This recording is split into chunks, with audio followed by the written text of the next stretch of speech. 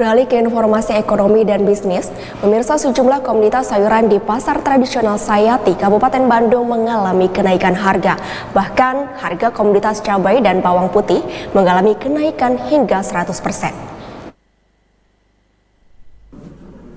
Para pedagang sayur mayur di pasar tradisional Sayati, Kabupaten Bandung mengeluhkan sepinya pembeli yang mengakibatkan omset penjualan mereka menurun hingga 50 persen.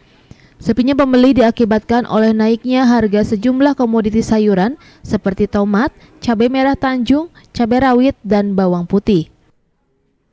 Kenaikan harga kali ini dirasa cukup memberatkan para pedagang maupun pembeli. Seperti harga cabai merah Tanjung saat ini dijual dengan harga Rp70.000 per kilogram, sebelumnya dijual dengan harga Rp30.000 per kilogram. Harga cabai rawit kali ini dijual dengan harga Rp80.000 per kilogram, sebelumnya dijual dengan harga Rp40.000 per kilogram. Demikian halnya dengan harga bawang putih semula dijual kisaran Rp30.000 per kilogram, kini rata-rata dijual oleh para pedagang Rp60.000 per kilogram. Yang naik yang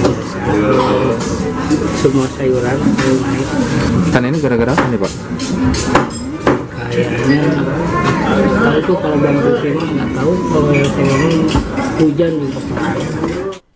Menurut pedagang, kenaikan sejumlah komoditas tersebut terjadi akibat kurangnya pasokan serta cuaca ekstrim di sejumlah wilayah penghasil sayur mayur. Para pedagang berharap agar harga sejumlah komoditi dapat segera stabil agar penjualan mereka kembali meningkat. Rezitia Prasaja, Bandung TV